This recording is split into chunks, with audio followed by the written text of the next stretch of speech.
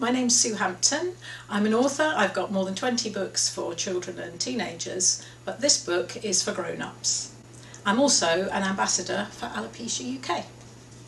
I'm going to read the opening of my novel Flashback in Purple.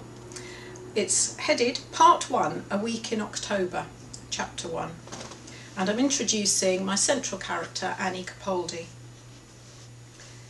Annie Capaldi had read somewhere that when we wake, our unique consciousness is only made possible by the particular physical body that houses it. Which was annoying, because it had taken her decades to cut loose emotionally from that body and develop an interest in the possibility that she might have a soul. These days, Annie needed rather more time each morning to sharpen the blurred edges of that conscious self.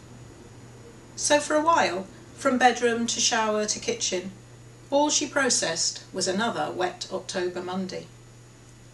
She could, if required to prove that she wasn't completely out of touch with the wider world, have named the Prime Minister and identified the year as the one that followed 2012, when she'd been an ambassador at the Olympic Park. But for a while, the new day came with no date tag, no frisson or fanfare.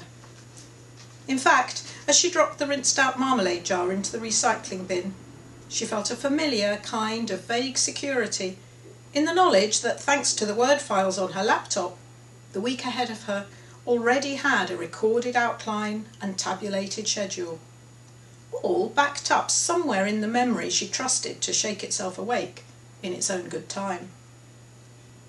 But it was the BBC breakfast presenters who announced the number, the key to open the door. With the remote control in one hand and a coffee mug in the other, she was left staring for a moment at the blank screen. The data left over she had no time to digest, like the toast crust on her plate.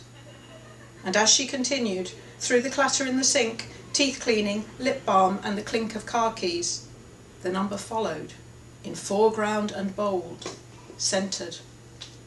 Twenty-five years in the job to the day. With marriages and reigns, didn't 25 mean silver? Half as good as gold. Stepping outside into rain she hadn't even guessed, Annie found a car she'd almost forgotten. Probably because 25 years earlier Arthur had taken the VW, leaving her to the train. As she turned out of her drive, it struck her that she was a leftover herself, the single survivor of every change. But wasn't she entitled to feel some kind of satisfaction or sense of achievement? Who stayed in a job for 25 years these days, apart from the Queen?